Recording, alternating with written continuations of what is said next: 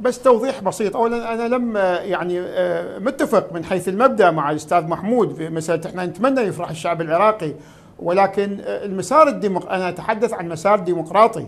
ما له علاقه هذا المسار؟ الناس فعلا تنتظر الموازنة وتنتظر تشكيل حكومة وتنتظر لكن عندما نتحدث عن مسار ديمقراطي معطل منذ شهر شباط.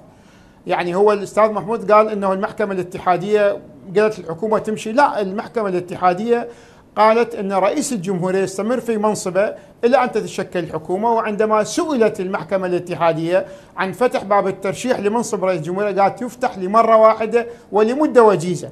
المدة الوجيزة فسرها كل خبراء القانون بأنها آه، ليس أكثر من شهر بمعنى أنها انتهت منذ السادس من من شهر آه، نيسان الحالي، اذا إحنا الآن في مرحلة آه، فراغ دستوري.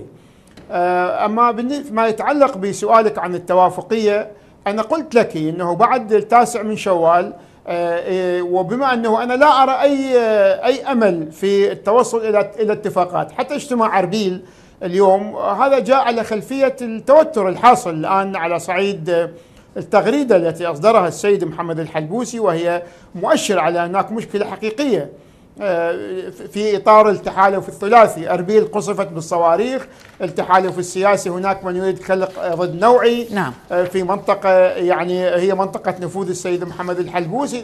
هناك إشكاليات هم ذهبوا لبحث هذه الإشكاليات وليس من أجل أن يتفقوا على صيغة ممكن أن أن يصلوا من خلالها إلى حوارات مع الإطار التنسيقي. خيار التوافقية سيكون هو المرجح في تقديري لكن بعد فشل بعد أن فشل الجميع في آه، تحقيق أهدافهم سواء من يريد الأغلبية أو من يريد بمعنى أن خيار الاطار التنسيقي سيكون هو المرجح لأن هو الذي دعا منذ البداية تشكيل حكومة توافقية.